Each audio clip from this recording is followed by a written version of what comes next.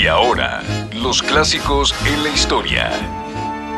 Noviembre 24. En 1985, en Inglaterra se publica El origen de las especies de Charles Darwin. Para 1941 llega al mundo el primer baterista de The Beatles, Pete Best, quien permaneció en la banda hasta agosto de 1962. En 1944 nace Bev Bevan, quien fuera baterista de Electric Light Orchestra. Para 1976, la banda Chicago consigue el primer sitio de sencillos en Reino Unido con If You Leave Me Now.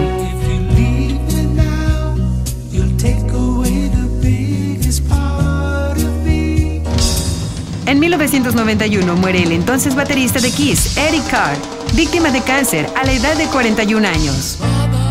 Ese mismo día, en 1991, otra estrella se apaga a los 45 años de edad, el legendario compositor, músico y cantante del grupo Queen, Freddie Mercury, víctima de neumonía bronquial agravada por padecer SIDA.